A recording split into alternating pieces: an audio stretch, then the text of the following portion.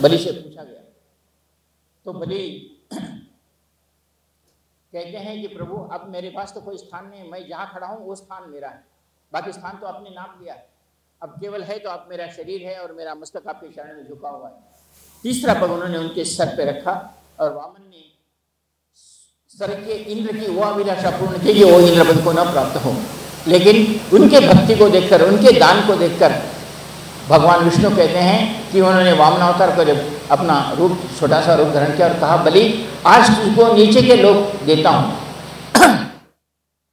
नीचे के लोग देते हुए तुझे कलयुग में एक वैवत्सन मनंतर आएगा। उसके बाद में तुझे इंद्र पदवी सौंप दूँगा।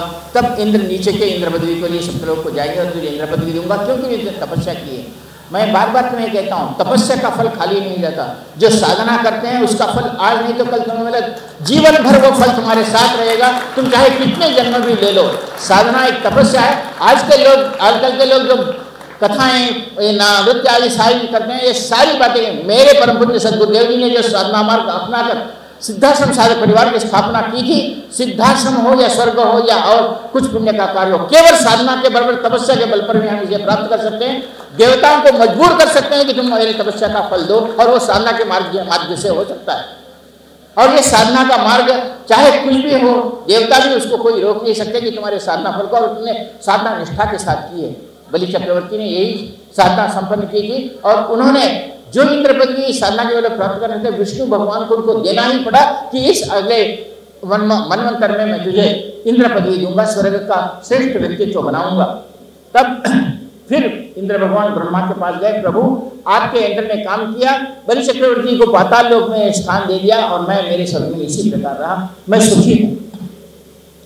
इतने संकट में भी उन्होंने जब इस यंत्र की महत्ता का बात करते हुए ब्रह्मा को कहा, तब ब्रह्मा कहते हैं कि, प्रभु, मैं, मुझे एक बात का पता नहीं चला कि भगवान विष्णु ने तो तीन पग रखे, तीन पग में एक उधर गया, एक गया, और क्या रहा तो पुरुष में लिखा हुआ है, अत्यंत दशांगुलम प्रभु ने अपने तीन पग रखते हुए दस अंगुल शून्य छोड़ दिया था। बाकी सब वो नाप गए थे। इसका मतलब होता है कि मैं दस अंगुल शून्य में शून्य को छोड़कर मैंने मेरे पाओ को रखा है। इसीलिए तुझे भी कहता हूँ मेरा ये यंत्र जहाँ स्थापन होता है, वहाँ के दस अंगुल तक तेरे ऊपर कुछ भी नहीं होता।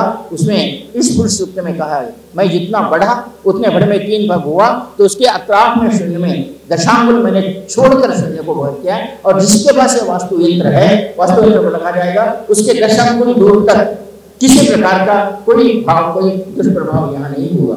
वो एक छोटी सी साधना ब्रह्मा ने विश्वकर्मा को बताई थी। विश्वकर्मा ने इंद्र को बताई थी और इंद्र ने आपको बताई थी ये साधना आज तक नहीं है कितने भी वास्तु पंडित हो मैं उनको पूर्ण विशेषता के साथ कहता हूँ। ये यंत्र बनाने के लिए मुझे समय लगा हुआ होगा और मैं समझता हूँ बहुत कम बन, बनाया हूँ। लेकिन कोई भी वास्तु शास्त्री पुरुष हो ब्रह्मा इस कलश को इस यंत्र को स्थापन करके जिस घर में इस यंत्र को इस मंत्र को करते हुए अगर उस घर में यंत्र को स्थापन करता है या आप साधना स्थापन कर लेते हैं यंत्र को तो मैं निश्चित रूप से करता हूँ कहता हूँ कि आपके घर में दुख दूर होगा, कष्ट नहीं होगा और आप अपने पति, पत्नी बच्चों के साथ सुखी धन धान्य से सुखी रहेंगे ऐसा ही वास्तु यंत्र जो स्वर्ग के यंत्र को दिया था, ऐसा यंत्र मैंने तैयार किया है। लेकिन आपको कहता हूँ, इतने बहुत कम समय इसे ढूँढने के लिए, निकालने के लिए ही बहुत समय लगा। ये कब मुझे इसके, इसका पता चला कि मैं एक छोटा सा प्रश्न हमारे शेष महाराज और उदय महाराज को पूछा कि संसार में पहली बार किसने पुरुष सूक्त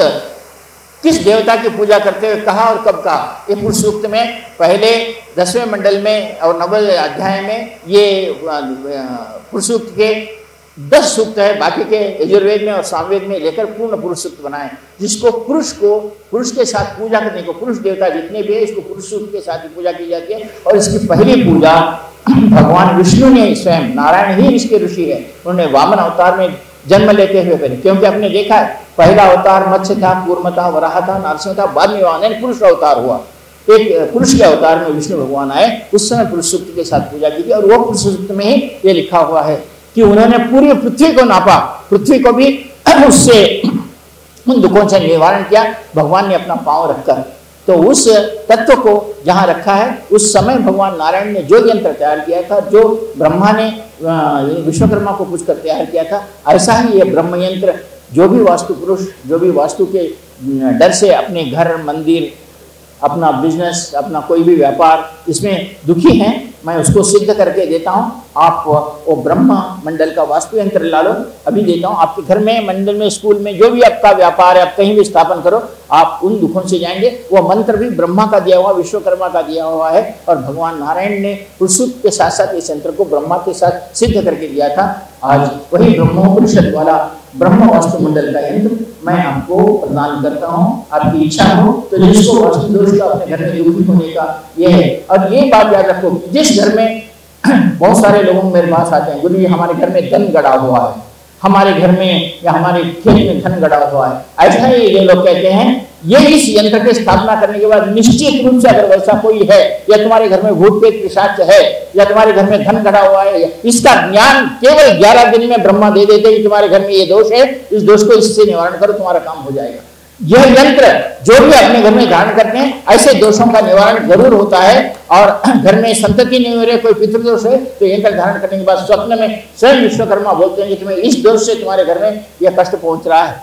आप वास्तु, चाहे किराए के घर में रहो, चाहे घर, खुद के घर में रहो, चाहे व्यापार रहो, चाहे और कुछ भी रहो, जहाँ आपका व्यापार आरंभ नहीं हो रहा है, या आपको व्यापार बंद पड़ा है, या व्यापार नहीं हो रहा है, या आपके किसी में भी त्रास हो रहा है, कष्ट हो रहा है तो आपको इस यंत्र की स्थापना से केवल ग्यारह दिन में मंत्र करने के कारण आपको उसका पता चल जाए कि क्या दोष है किस दोष से वो दोष निवारण होते हुए आपके घर में सुख शांति होगी गड़ा हुआ धन भी इस यंत्र से बाहर आता है, ऐसा स्वयं ब्रह्मा जी ने कहा है। क्योंकि पृथ्वी पर तीसरा पद रखने वाले विष्णु ने अपने लक्ष्मी युक्त पद को वहाँ रखा था और कहा था कि मैं तुम्हारे उसका ज्ञान तुम्हें प्रदान करूँगा। ऐसा ही यंत्र ब्रह्म वास्तु दोष निवारण यंत्र ब्रह्म वास्तु निवारण है।